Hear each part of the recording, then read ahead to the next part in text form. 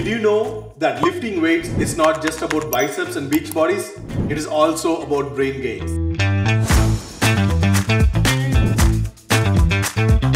I'm Giri Srinivasan, registered physiotherapist, and today in Ask Giri the Physio Show, we are going to talk about mind over muscle, literally. Top 6 brain benefits of resistance training. Number 1 Brain evolution. Back in the day, our ancestors had to hunt, fight, and run for survival. That kept their brains sharp. Now, most of us are sitting a lot in our daily life. We are battling the remote for the last piece of pizza. But here's the thing when we stop moving, our brain stops adapting. That's very important to know. Two, neuroprotection.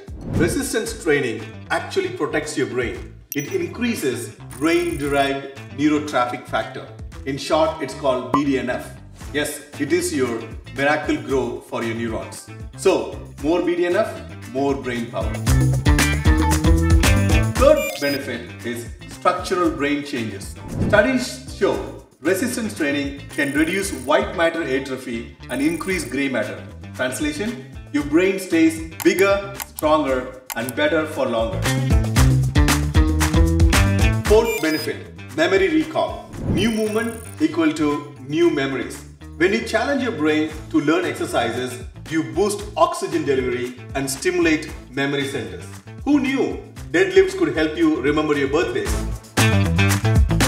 Fifth benefit is mood and depression.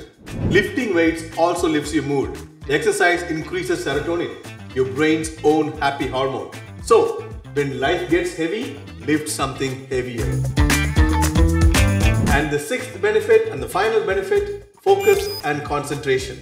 Moderate resistance training improves focus and processing speed and your executive function. Basically, your brain goes from meh to mastermind mode.